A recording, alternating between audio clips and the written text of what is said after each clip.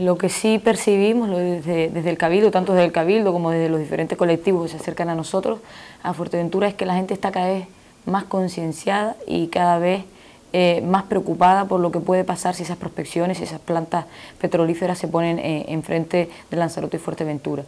El día 24 fue la, digamos, el arranque y fue para nosotros también Em, digamos, un, termómetro para saber cómo estaba la situación en Fuerteventura. Yo creo que ha calado en toda la población y creo que, pero creo que falta todavía mucha información que nos corresponde a nosotros eh, repartirla entre, entre la población para que sepa, de, aquellos que tienen dudas todavía, pues que sepan de qué, de qué estamos hablando y la importancia de, de esta situación sabemos y, no, porque lo, no porque lo pensemos, sino porque tenemos datos de que, de que el hecho de que se puedan dar, de que se hayan dado esos permisos y que se pueda llegar a realizar esas profesiones va a ser el caos total para Canarias, para Fuerteventura y Lanzarote en, en particular. Por lo tanto, económicamente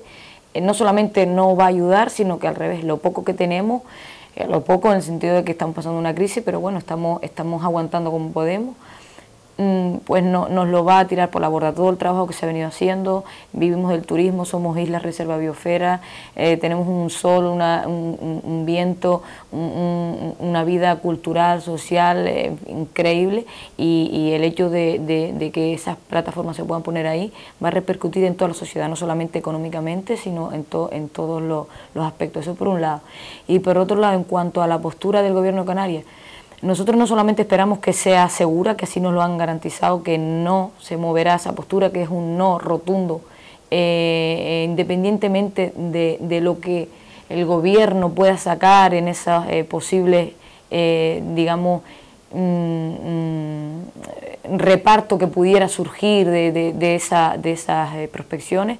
El, gobierno ha dicho que no, independientemente de lo que pueda eh, venir para Canarias, y eh, los cabildos, en este caso sobre todo eh, Lanzarote y Fuerteventura, aunque el resto también se ha pronunciado, han dicho que no. Nosotros vamos a seguir manteniéndolo y vamos a exigir al gobierno de Canarias, si dudar en algún momento que nos han garantizado que no,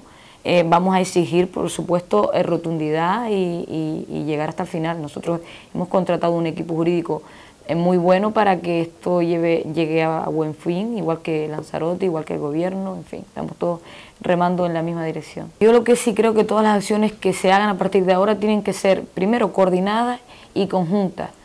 Mm, ¿Por qué? Porque mm, bueno, las cosas mal, quizás mal organizadas o a la prisa y además tienen que ser eh, creo de la mano de, los colectivos, de, los movimientos de no al petróleo, de la mano de ellos y de la mano de las instituciones para que funcione. ¿Por qué? Porque eh, quizás mm, si no se organiza bien podemos dar la imagen contraria a lo que realmente, al sentir real de la población. Quizás la, mala convocatoria pues pueda ser una,